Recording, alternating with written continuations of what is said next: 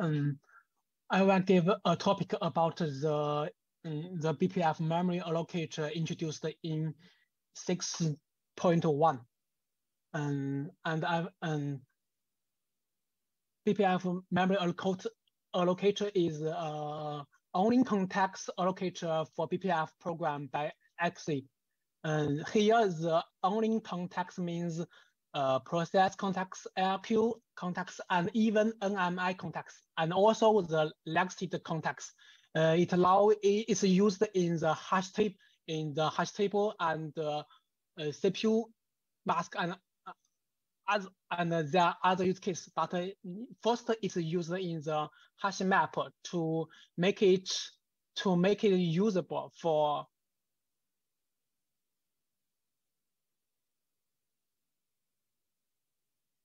oh, sorry, the thing is not is not good. Um, and um, during um,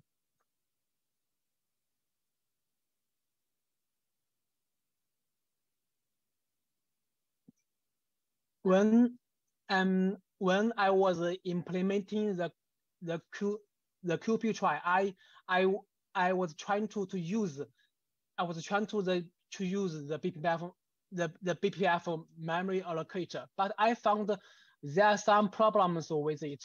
And the first problem is the immediately reuse the problem.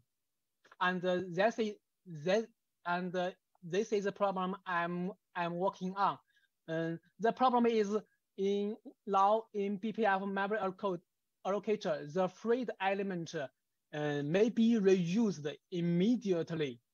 So, uh, and the direct result is if the hash table using the BPF uh, allocator and uh, if they are concurrent BP, if, if they are concurrent hash, hash table lookup and deletion, the lookup may return uh, in re, uh, return uh, in re, uh, in re, incorrect result.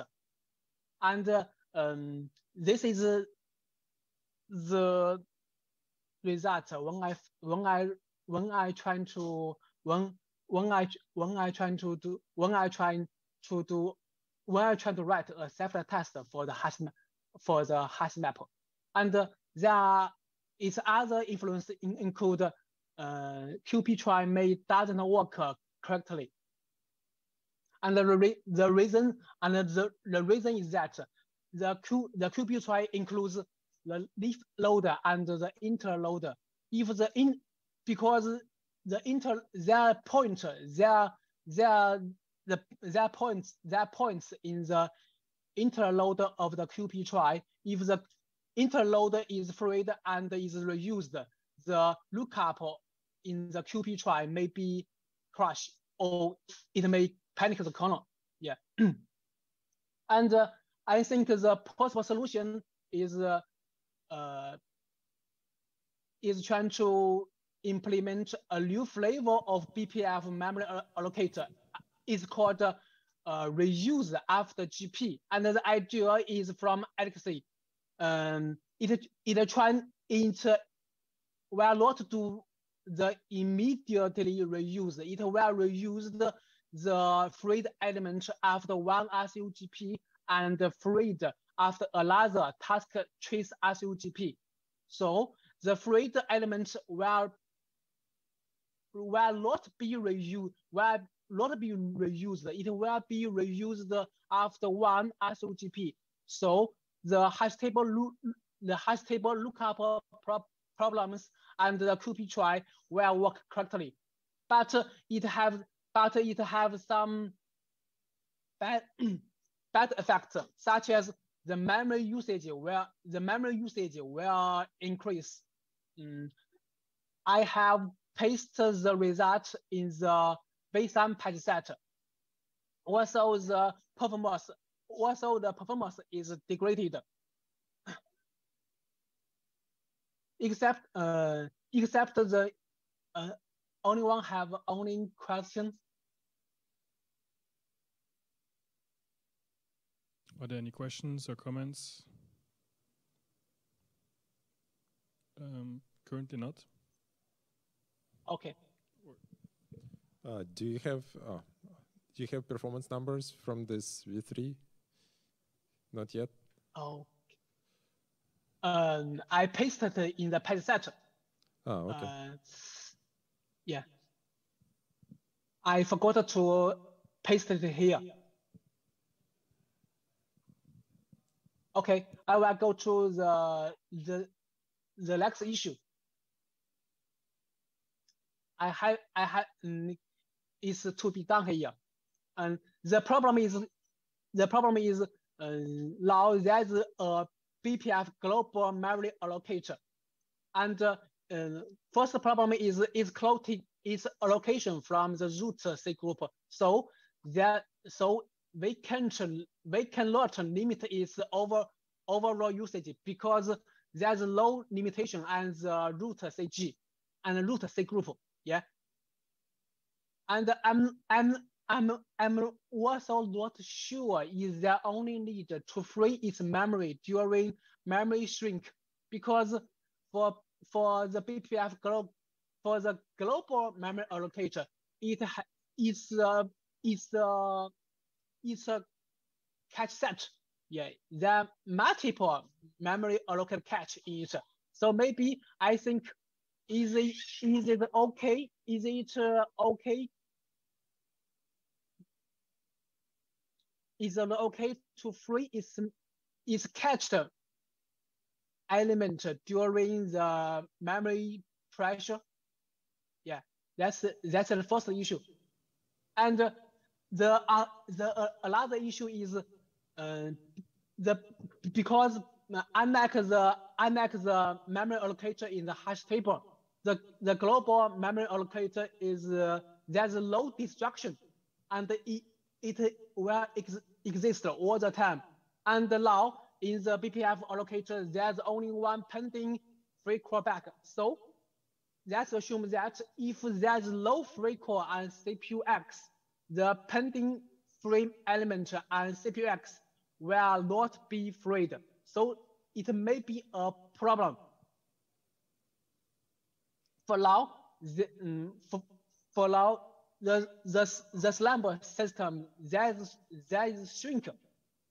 We can, we can add a shrink for uh, that, that shrink in, in the slumber system. So could, can we, could you, uh, there's only need to add uh, a shrink for the for each BPF memory allocator or the global memory allocator. So if there's a shrink, so we we can we can try to wait we can try to free its uh, cached element during the memory pressure. I'm not sure. Um, I'm not sure whether or not is that's needed. And for the and for the second issue, I think maybe uh, maybe it's possible, maybe it's okay to start a time to check whether or not there is still freeable element after the counter RCU callback is completed. Yeah. And uh, this is the, the issues of the BPF global memory allocator. But mm, and uh, the thing I want to discuss is whether is whether or not these problem are are okay, but is not okay. Uh, whether or not these problem are solvable is worthing to is is is worthing solvable. So uh, my intake is like before adding shrinker, we need to measure whether uh, memory that's sitting unused inside this uh, global memory allocator, whether it's actually significant in any way, right? So it's supposed to be like in kilobytes. Like last time I measured, it was because every per CPU uh, free list was small, and watermark was like on average 32. So even if you have like 32 pages, the that's well, yeah, 32 by 4, or, or if you have bigger page size, but still, it's still way less than a megabyte uh, in memory. So like shrinking that doesn't seem that worse the code. But if it's a real issue, then yeah, we can definitely consider shrinker, but not sure what exactly it will do. Right? What we discussed briefly, once we get to floating uh, low and high watermark, then we would need some logic where it's like automatically adjust uh, high low limits, and then we would need shrinker that would uh, turn these limits down and will free the memory. So the memory that you saw uh, while doing the benchmarking for the uh, free after GP was all sitting in the caller CU, caller CU task trace callbacks, right?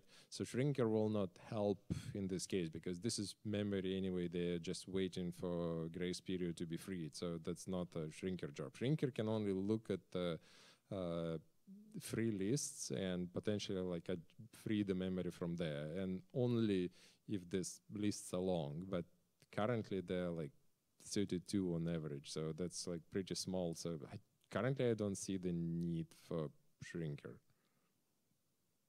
Yeah, I see. Yeah, I will. I will try to measure the total memory of the BPF global MA first.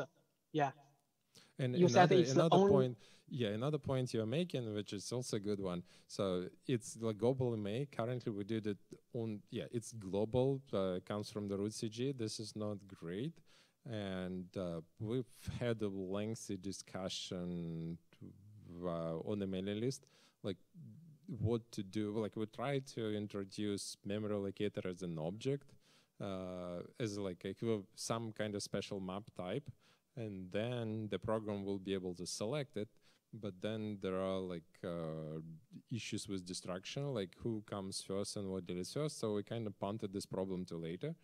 Um, we can like revisit this if this is really an issue. It's just like currently it seems to me there is no, yeah, not sure what this issue at all. That's, yeah, until we measure it and see that is indeed a problem, yeah, it doesn't seem that worse, like adding a bunch of code to solve a potential issue. Okay. That's okay. That's to the measure first. Okay. Uh, I will move to the to the next and also the the last issue. Uh, yeah, it's uh, it, it's a problem of CPU hot plug. Yeah. Um, the reason uh, the, the reason I why I found it because I was trying to do some CPU hot plug during test and I found it seems uh, the uh, currently the BPF memory allocator doesn't do the CPU plug and the, the Slambo system uh, did did implement it. So uh, should we implement implement the CPU plug for BPF MA allocate? As uh, well. What's mm. a, what's an effect of it not uh, not not being notified and not doing anything on the hot plug? So like for the case of hot plug, I can imagine that when the CPU is being removed, yeah, it's like the 32 elements uh, by number of caches, so it's 32 by 11, whatever, 300 elements of different sizes. Uh, they are not freed, yeah. so this is potential like waste when the CPU is going offline but that's basically it, right? So that's the only issue I can see. It's yeah, some memory is wasted when CPU is offline. Do you see any other issue yeah. here? Uh, yeah, I yeah yeah yeah. The the waste is the major issue I think. Yeah. Yeah, but again, let's measure what's exactly we're wasting. Like how much memory is being like wasted on average. Like if it's again but, less than megabyte, yeah. is it really well? I guess depends, right? If it's if it's an easy, yeah, yeah, if, it it's depends. if if if the amount of code that will just flush the free list is small, then yeah, sure, makes sense to do. But then, uh, but then uh, again, like we, we, we got we got to be careful because the MA uh, doing this fancy uh, lockless stuff, so we don't like introduce more issues in the hot pass uh, when we're doing the hot plug. Okay, okay, okay. I, I see, I see, I see your point. I got it in point. Yeah. Mm, for now, I don't have the, some really workload to test the the memory waste of the CPU hot plug problem. Yeah. Yeah. And uh, because, as you said, the major problem is the memory waste. So I think uh, if it it's there's no support, there's no hot plug support in BPF in BPF MA. It's it's okay as well. Yeah, it doesn't have um other problems. Yeah. Yeah. Um, well, yeah. So just to be fair, like we don't have hot plug support anywhere in BPF, and we have pre-allocated per CPU things forever. Uh, just a regular hash map, it's always like pre-allocated and pre-allocates on all CPUs and nothing frees those per CPU freely. So we probably have much bigger wastage in case of yeah. CPU being offline than this particular BPFMA, which is tiny comparing to uh, like a regular hash map. Like you have a regular hash map, you have whatever 90 CPUs, and it's a big uh, whatever flow lookup hash map that consume four gigabyte of memory. One CPU goes down, that's significant. So that would be a bigger uh, low-hanging fruit if you really care about CPUs being offline for a very long time. Yeah, mm. I I I see your I see your point, but uh, but I think the the the problem of memory of memory link is still a problem to us. Yeah. True. um, okay. Thanks. okay. Um, my pre my presentation is over, and uh, there are only other questions.